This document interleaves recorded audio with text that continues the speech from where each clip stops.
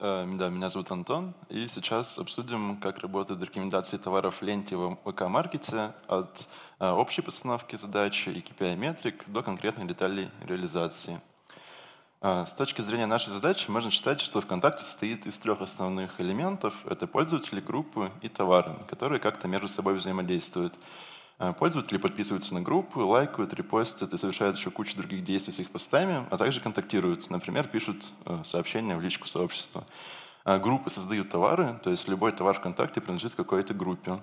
А основными взаимодействиями пользователей товаров для нас будут являться переходы на карточку товара и соверш... нажатие на кнопку целевого действия на карточке товара. А наглядно на примере блока в ленте это выглядит следующим образом. А, пользователь видит а, витрину рекомендаций товаров, а, кликает на понравившийся товар, тем самым переходя на карточку товара. На карточке товара нажимает на Call to Action кнопку и совершает контакт с сообществом. А, и наша задача — построить такую рекомендательную систему, являющуюся отображением из множества юзеров в упорядоченные наборы товаров, а, чтобы максимизировать контакты между юзерами и сообществами, у которых есть товары. А, верхнеуровневое решение выглядит следующим образом. У нас есть какая-то модель первого уровня, которая умеет быстро находить из всего пространства товаров условно 500 наиболее релевантных данному юзеру кандидатов — и далее этот список кандидатов мы ранжируем более тяжеловесной моделью второго уровня и уже в таком порядке отдаем пользователю. Э, поговорим подробнее про модель первого уровня. Для начала вспомним, что такое э, матричная факторизация.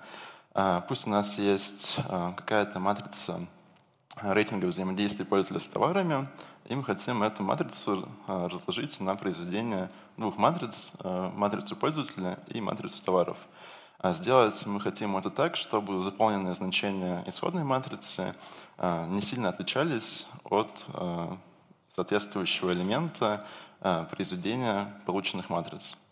И если мы сумели это сделать, то для каждого пользователя, который взаимодействовал с товарами, и для каждого товара, с которым были взаимодействия, у нас есть какие-то вектора.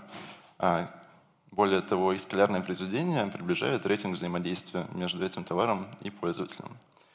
А, сделать это, то есть найти такие вектора можно, оптимизируя, оптимизируя следующий лосс.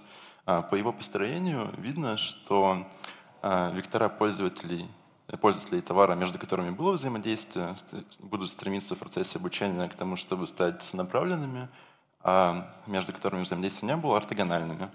При этом взаимодействие с большим рейтингом будут носить больший вклад в лосс. Но на самом деле в нашей матричной факторизации вектора пользователя фиксированы и обучаются только вектора товаров. Вектора же пользователя приходят из а, другой матричной факторизации, а именно а, факторизации взаимодействий пользователя с группами. Такой подход, его преимущество заключается в том, что сейчас с товарами взаимодействует лишь часть аудитории ВКонтакте, и если бы мы делали полную матричную факторизацию, то для значительной части э, пользователей у нас бы не было векторов, и нам пришлось бы как-то для них решать проблему холодного старта. А с группами уже взаимодействуют почти все пользователи, то есть, э, вот используя такой one-step э, LS метод, можно автоматически решить проблему холодного старта. И также его плюсом является то, что не нужно хранить несколько наборов векторов для пользователя, что оптимально с точки зрения ресурсов. А, вектора товара мы обновляем несколько раз в неделю. И для того, чтобы между этими обновлениями рекомендации а, товаров для данного пользователя не застывали, а также чтобы внести некоторый exploration, а, мы на этапе применения к вектору юзера добавляем случайный шум. Также, кроме коллаборативного эмбеддинга, который приходит из матричной факторизации, мы можем для товара посчитать контентный эмбеддинг, который является взвешенной суммой эмбеддинга картинки и текстового описания товара, э, приходящих из нейросети Clip, который уже упоминал Степа в своем докладе. Э, ну, напомню, на всякий случай, что эта нейросетка обучается так, что семантически похожие картинки и тексты отображаются вещественные вектора, близкие по косинусному расстоянию. Ну и также мы, правда, можем складывать вектор картинки и текста, потому что они лежат в одном векторном пространстве. И сейчас мы готовы проговорить полностью, как устроена наша итоговая модель первого уровня. Для данного пользователя мы запрашиваем до 15 последних товаров, на которые он кликал.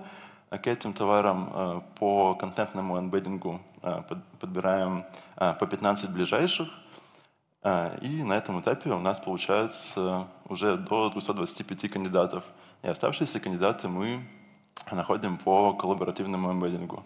Э, тут стоит отметить, что само наличие э, кандидатов, похожих по контенту на те, которые пользователь уже кликал, и там гиперпараметры типа 15 мы подбирали в АБ-тестах.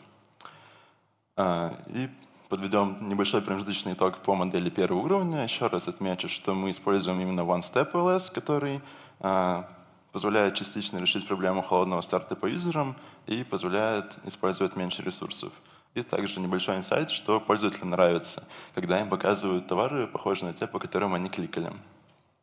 А, далее, как мы обсуждали, наш получившийся список кандидатов из модели первого уровня нужно как-то отранжировать. А, делать мы это, конечно же, будем моделью, про которую уже рассказывал Женя, а именно XGBoost, обученным на Multitarget Pairwise Loss.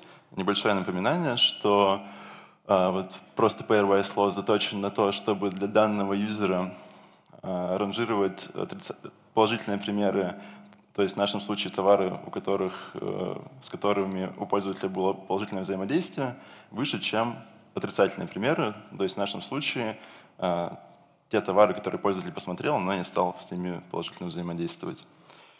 Ну и учет нескольких таргетов достигается путем стакания датасетов по разным таргетам. А, для ранжирования товаров мы используем следующие э, пять видов взаимодействий. И интуиция э, за подбором весов к ним состоит в том, что более KPI, но, не явля... но редкие действия входят в датасет с большим весом, чем более частые, но не являющиеся напрямую KPI, как, например, переход на карточку товара. Э, в качестве признаков модели мы используем практически все разумное, что можно быстро заэкстрактить в онлайне. Это фичи про пользователя, про товар, про сообщество, которому он принадлежит, а также про их различные взаимодействия. Э, ну что интересно, в итоге получили, э, что самыми важными фичами для модели являются рекламные фичи про группу и про пользователя, которые, грубо говоря, мы просто взяли э, у э, команды ленты. Э, но также большой вклад в предсказания вносят фичи про контентный кластер товара и распределение интересов пользователя по этим кластерам. Контентный кластер товара получается кластеризацией клиповых эмбеддингов товаров, которые я упоминал ранее в докладе. И выводы, которые хочется сделать из этого доклада, а, заключаются в том, что вот мы на примере рекомендательной системы товаров разобрали такую типовую архитектуру и а, базовый набор решений команды ленты, а, которые позволяют быстро создавать качественные рекомендательные системы в абсолютно новых доменных областях, например, рекомендациях товаров, с одной стороны, но с другой стороны, эти типовые решения имеют достаточное а, число степеней свободы, а, чтобы настроить их под конкретную область. Например, мы научились э, докидывать похожие по контенту товары в кандидаты. И также круто, что, более, ну, что у нас есть более крупные продукты, например, реклама, которые усиливают данными развивающиеся продукты, и мы смогли обучить более качественные а, модели ранжирования благодаря ним. На этом у меня все. Спасибо.